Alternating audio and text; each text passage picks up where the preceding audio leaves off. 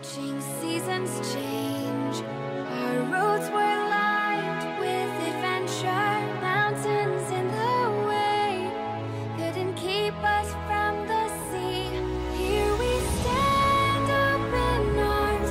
This is home where we are, ever strong in the world that we er klokken kvart i ni, og øh, bilen er pakket grad, øh, grad vest, og øh, nu skal jeg ud og hente øh, mine tre af mine kammerater, så vi kommer afsted over til, til Gudsø, så vi kommer over og få, øh, få skudt nogle folk.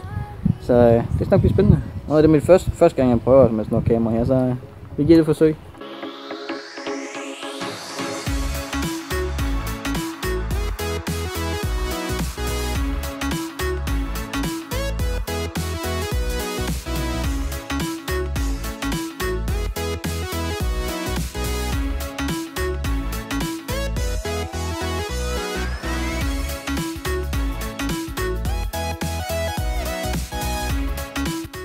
Så er vi kommet afsted. Hold kæft, der er mange mennesker, men det bliver fandme spændende alligevel. Men øh, nu ser vi, hvordan det går.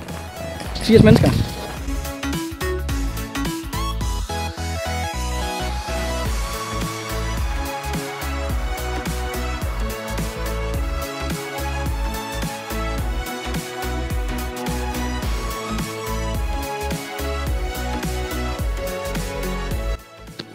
It's dead fandt ud af, at begge øh, batterier de var døde, så det var jo øh, mega fedt.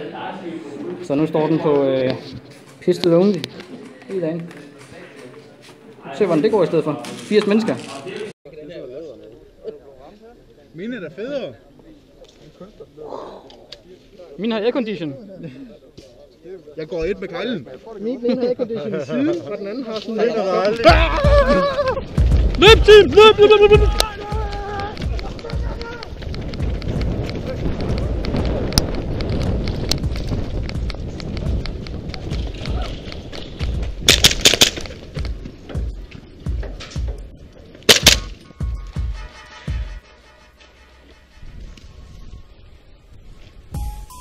Det er den forkerte vej. Nej! Pas på ryggen, pas på ryggen. Skal jeg lige fortælle en, en harvidighed til kameraet? Hvorfor en har AIDS? Den er til han bøs i røven. Det er, det er så Tim, vores teammate. Vi- kender ham ikke rigtigt.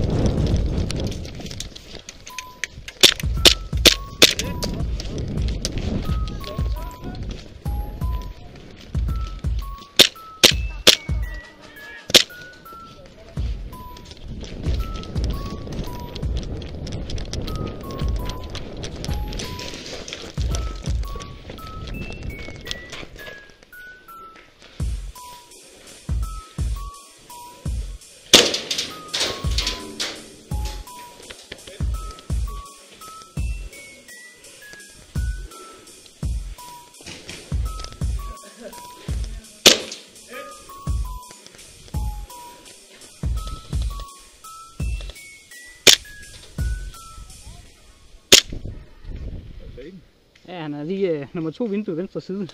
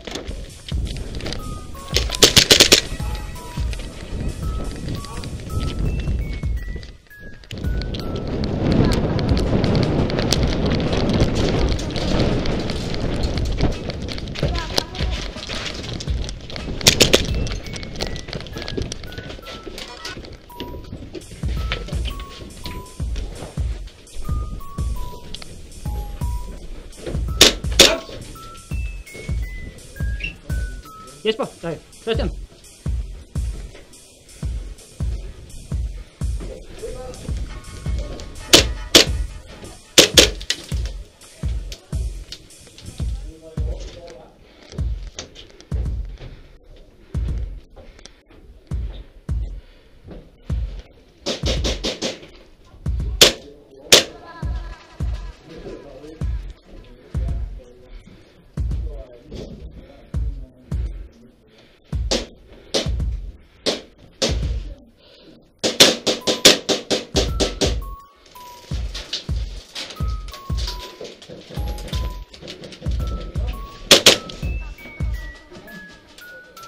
den ser bare lidt skarp ud. Ja,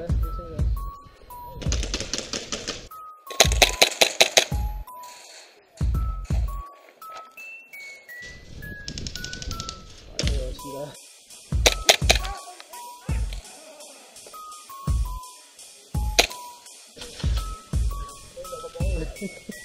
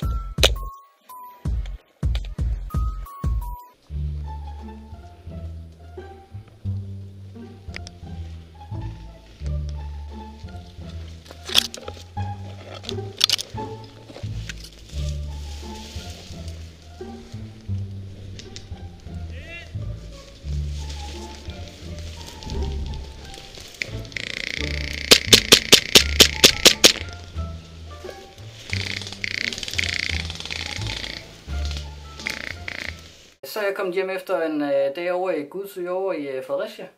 Det var været en mega varm dag, og der var virkelig mange mennesker. Vi var 105 mennesker dag. Normalt plejer der at være 70-80. Men øh, det var en fed dag. Desværre så var to af mine batterier døde, så jeg fik ikke rigtig brugt min M4, så øh, det var øh, pistet only dag i dag i stedet for. Men jeg er øh, glad for, at I så med. Håber, I kan lide det. Hvis I vil se noget mere hardboard, så må I lige sige til, fordi jeg vil gerne i gang igen, og det her det er også lidt motivation for mig at komme ud og skyde lidt, og der er nogle video med det igen. Men det er rigtig fed sport. Tak fordi I så med har jeg endelig først?